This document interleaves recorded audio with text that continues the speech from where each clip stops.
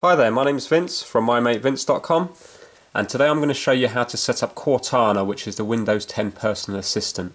Now you might be having trouble setting this up or it might have been set up already and then you might be running into problems and a lot of the problems are to do with the fact that the region and language and the speech have to all be from the same country. So I'm from the UK and my region and language was the UK, but when it came to the speech, it was actually under English, but it was under US English. So I had to download, I had to install the English language pack, uh, the United Kingdom version, and then it started to work. So just to give you a quick example, so I was already set up, but now if I go to Cortana and uh, ask it about the weather. What's the weather like in London? Now the problem is it won't communicate with the internet because the speech is under English US and yet my region is the UK. And again, if you were trying to set this up, you would have exactly the same problem. So what you need to do is, you need to go down and you need to go down to here and type in settings.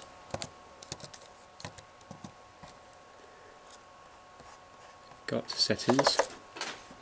And you need to go to time and language and under region and language.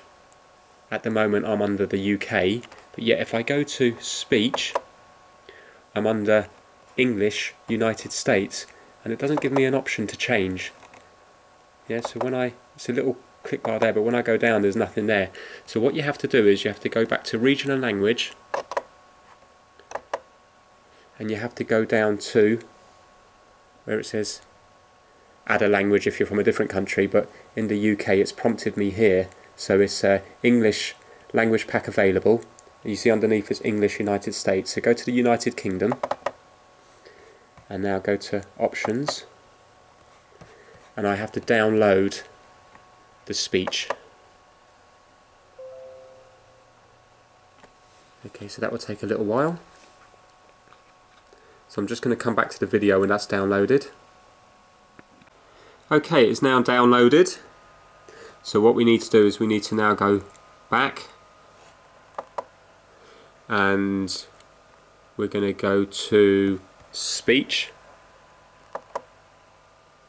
And if you have a look now before remember it was English United States and we couldn't change it but now if we go to that drop down menu and if you have a look now English United Kingdom has come up. So click on that and now it's English United Kingdom. So let's just double check under region and language. It says United Kingdom and under speech it says English United Kingdom. So obviously these two need to be the same depending on what country you're on. So it's fine if you're from the States and it says United States and then English United States but because I'm from the UK it has to be region and language uh, United Kingdom and speech English United Kingdom. Okay so if we now come out of this. Cortana should be working. Let's just give it a little test. Go down to here. What's the weather like in London?